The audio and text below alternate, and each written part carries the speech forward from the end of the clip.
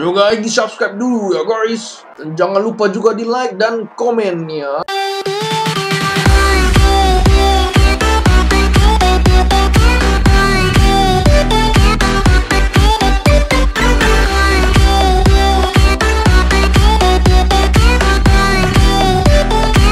Yo guys, balik lagi dengan gua di channel Jeff Gaming guys ya. Nah, di video kali ini kalian bisa lihat langsung di depan mata kalian cuy. Sudah ada updatean terbaru di versi 5.4.0 cuy ya. Ya di sini gua mau baca bentar ya cuy ya. Alur cerita baru chapter 5. Nah, bagi kalian yang sudah menyelesaikan chapter 1 sampai 4 akhirnya muncul alur cerita chapter 5 cuy ya. Jadi bagi kalian yang belum menyelesaikan chapter 1 sampai 4 itu kalian tidak bisa memulai misi chapter 5. Jadi wajib selesaikan dulu misi sebelumnya, coy. Naiki kudamu untuk perjalanan berat melewati wilayah utara, petualangan menanti. Lokasi suku pribumi Amerika diperbaharui. Lokasi telah disempurnakan untuk meningkatkan visual, peta baru, dan berbagai detail yang memikat. Nah, di sini suku pribumi Amerika yang di bagian utara, cuy ya suku-suku Indian itu, nah itu udah pindah-pindah map mungkinnya sepertinya, tapi gua kurang tahu pasti. Tukarkan taring dan cakar dengan biji.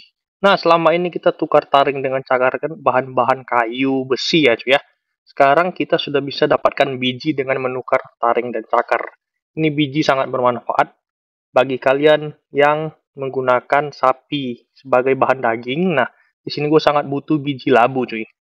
Jadi ini sangat worth it banget cuy ya kalau kalian tukar cakar ke biji labu. Pedagang di suku pribumi Amerika kini menawarkan aneka biji alih-alih ingot sehingga pertukaran menjadi lebih fleksibel untuk memenuhi kebutuhanmu. Beberapa peningkatan pada antar muka. Oke, kita lanjut. Oke, dapatkan alur cerita chapter 5.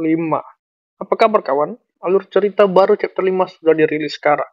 Isi peluru senapanmu dan hadapi petualangan Westland baru yang menegangkan. Kali ini cerita kita akan membawa kita ke wilayah utara, tempat kamu yang mengungkap sejumlah misteri, menjalani pertemanan baru dan mendapatkan pemahaman yang lebih mendalam tentang negeri yang indah tapi tak kenal ampun ini. Harap diperhatikan, bicaralah dengan kode di rats milikmu untuk menerima pesan dan memulai misi chapter 5.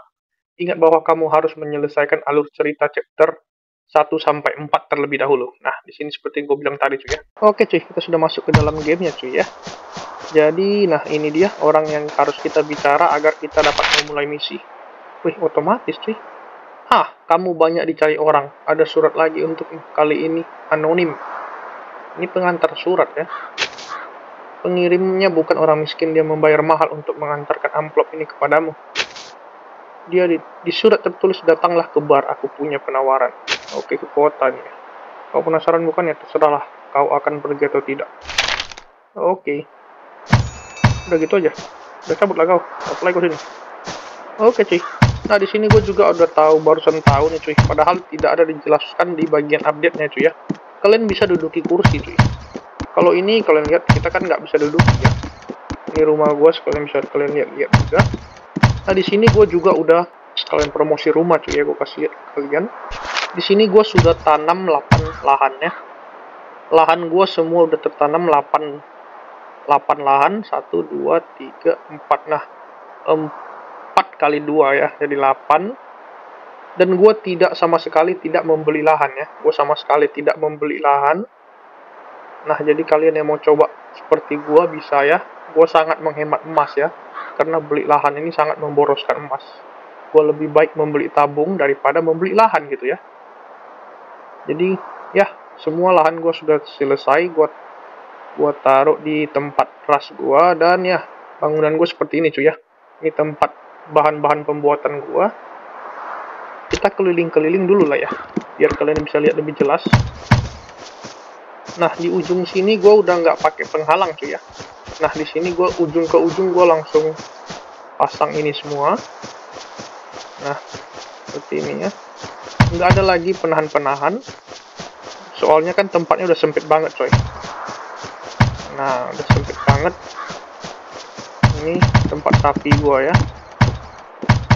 Nah di sini masih banyak luas ya. Di sini masih luas banget sih nah di depan ini masih luas banget ya. Kalian bisa lihat masih luas banget yang kosong. Masih banyak yang kosong.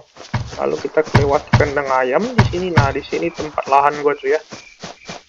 Empat pet eh 8 petak ladang sudah gua pasang semua ya. Jadi selesai full gue pasang dan ya gue masih tersedia lahan yang cukup luas atau cukup kosong di bagian sini coy. Intinya gue nggak pakai penghalang lagi ya. Penghalang seperti penghalang ini ya. Nah penghalang seperti tonggak besi karung pasir ini kawat berduri gue nggak pasang lagi. Soalnya memang udah makin sempit. Dan satu nih cuy yang baru updatean terbaru ini kita bisa duduk ya nah kalian lihat cuy nah dia duduk santuy ya nah goyang-goyang kursinya cuy ya tapi ini kalau kalian gerak dia langsung berdiri cuy ya. Gue gerak dia langsung berdiri. Nah, jadi cuma duduk gitu doang ya. Tapi kita hanya bisa duduk di kursi ini cuy. Nah, kita hanya bisa duduk di kursi ini. Untuk kursi lain gitu nggak bisa cuy ya. Di kursi seperti ini kita nggak bisa duduk. Gue udah coba tanya ke gamenya, ah maaf adminnya. Katanya bakal diperbaharui di next update. Bakal diperbanyak lagi supaya kita bisa duduk-duduk seperti ini ya. Dan gue juga uh, saran ke kalian kalian coba kirim ke bagian settingan lalu ke bagian dukungan. Nah seperti ini kalian coba masukkan email. Tapi kalian isi topik saran gue cuy. Ada tempat tidur cuy gue tiba-tiba kepikiran gara-gara bisa duduk di kursi ini. Saran gue ada tempat tidur. Masa ya koboi nggak tidur? Kan nggak logika lah ya. Jadi saran gue supaya ada tempat tidur jadi kita bisa tidur. Dan efek tidurnya itu di pikiran gue supaya energi kita bertambah dua kali lebih cepat. Nah kan itu worth it banget cuy ya. Itu sangat berguna ya. Dua kali energi meningkat lebih cepat ya dari biasanya kalau kita tidur. Kan itu lumayan cuy oke lah ya kita langsung ke bagian misi aja kita simpan dulu ini. Kita ini buang. Kita sekalian pakai perlengkapan aja cuy takutnya gue perang pula nanti ya. Ini kita bongkar dulu gue nggak butuh lagi. Oke kita pakai.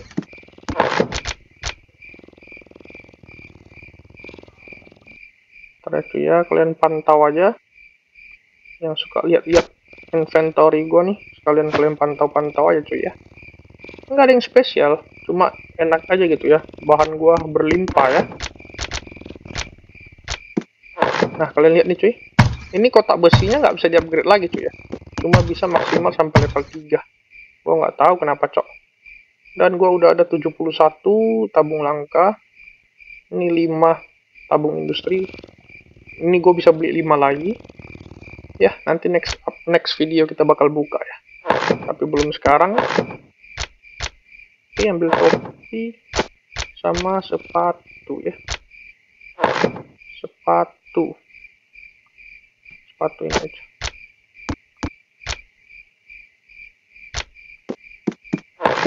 oke senjatanya udah oke lah ya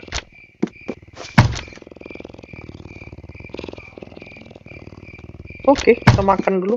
Udah lapar. Makan bentar say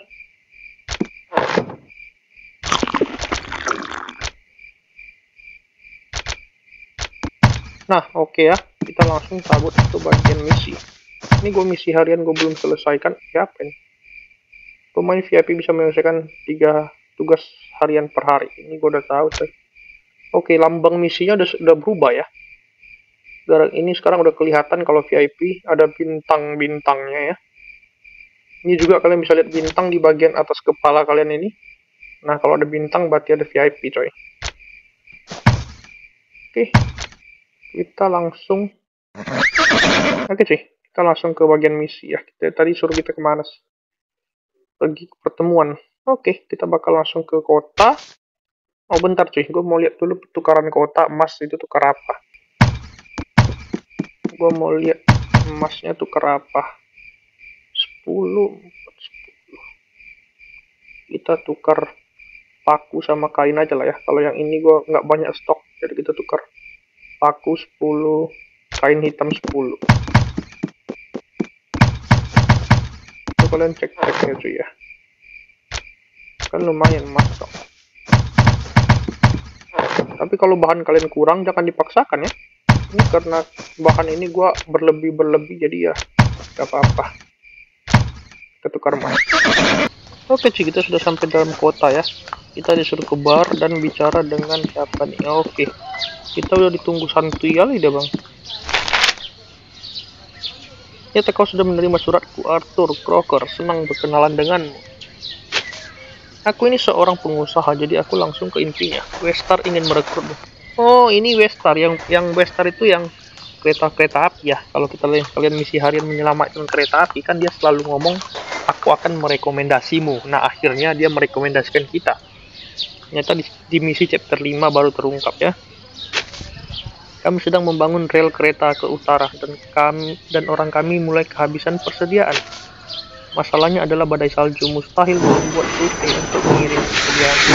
Masalah ini harus diselesaikan. Aku tak peduli caranya. Aku hanya ingin melihat hasilnya.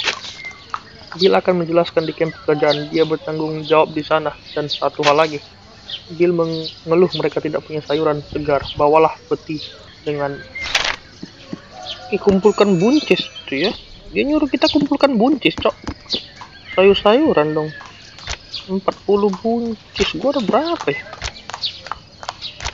buncis gua banyak sih harusnya cok semoga ada biar kita bisa lanjut ya. Ini dia buncis. Ya ada gua, gua ada 106 coy. Oke kalau gitu kita balik ke rumah ambil buncis dulu lah ya. Tapi sebelum balik ke rumah kita tukar emas dulu coy.